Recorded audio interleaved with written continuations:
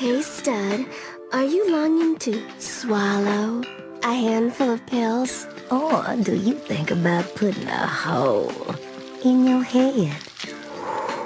Then call our sultry suicide hotline. We'll do anything to keep you alive.